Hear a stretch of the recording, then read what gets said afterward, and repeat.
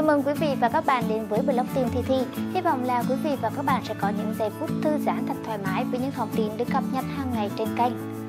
Và đừng quên nhấn vào nút đăng ký ngay góc phải màn hình để chúng ta không bỏ lỡ bất kỳ thông tin nào. Và bây giờ thì chúng ta hãy cùng đến với chuyên mục tin nóng để cập nhật những thông tin nhanh và nóng trong ngày. Xót xa những dự định dở dang của người mẹ Trước ngày bé trai 6 tuổi tử vong trên xe đưa đón của trường Gateway, người mẹ đã xin số điện thoại của cô chủ nhiệm nhưng nhà trường không cho.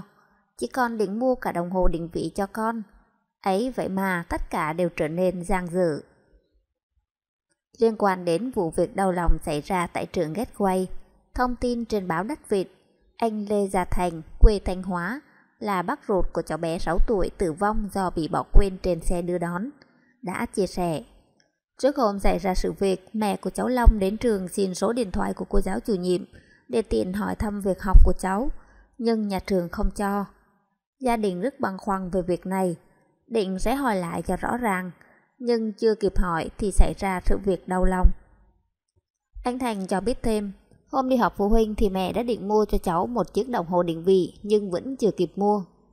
Đáng nói cái chết của cháu Long được cho là còn nhiều điều uẩn khúc, Trước đó thì trao đổi với phóng viên, ông Trịnh Xuân Hải là ông ngoại của cháu Long cho biết.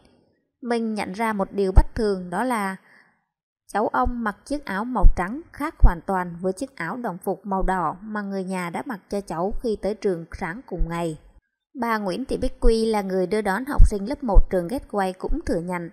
Thời điểm đón cháu Long, cháu mặc áo màu đỏ, quần màu xanh, dép màu đỏ, cặp sách cũng màu đỏ. Bà Quy dù nhận trách nhiệm về cái chết của cháu Long, nhưng cũng cho biết là không giải thích được điều này. Về vấn đề này trao đổi trên báo Đất Việt, anh Thành cho hay, áo màu đỏ công an giữ, còn gia đình cháu thì đang giữ chiếc màu trắng. Chiếc áo màu trắng này đúng là chiếc áo mà mẹ cháu đã bỏ vào ba lô cho cháu. Hôm đó lòng nói với gia đình là có tiết thể dục nên phải mặc áo màu đỏ.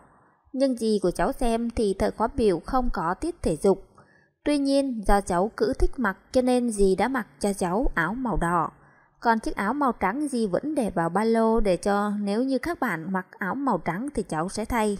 Theo ông Thành thì ngoài chiếc áo màu đỏ ra thì cơ quan điều tra còn đang giữ dép, ba lô, bình nước của gia đình chuẩn bị cho cháu trước khi cháu đi học.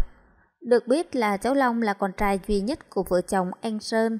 Anh Sơn là chủ một công ty trong lĩnh vực xây dựng, con vợ là chị Hắc công tác tại một bệnh viện phụ sản Hà Nội.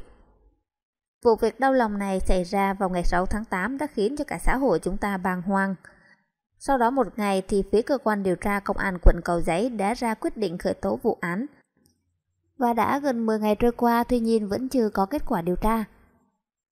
Tất cả chúng ta đều mong muốn cơ quan điều tra cho ra một đáp án hợp tình, hợp lý nhất để giải quyết những uẩn khúc trong câu chuyện này. Cảm ơn quý vị và các bạn đã lắng nghe. Hy vọng là quý vị và các bạn yêu thích những thông tin vừa rồi. Nếu yêu thích thì hãy chia sẻ cảm nhận của mình bằng cách để lại comment phía bên dưới. Bây giờ thì quý vị và các bạn có thể nhắn tiếp vào đây để chúng ta xem thêm những video khác. Quý vị và các bạn nếu chưa đăng ký nhắn tin thì hãy nhấn vào nút đăng ký ngay góc phải màn hình để chúng ta không bỏ lỡ bất kỳ thông tin nào. Bây giờ thì chào tạm biệt và hẹn gặp lại quý vị và các bạn trong những video lần sau.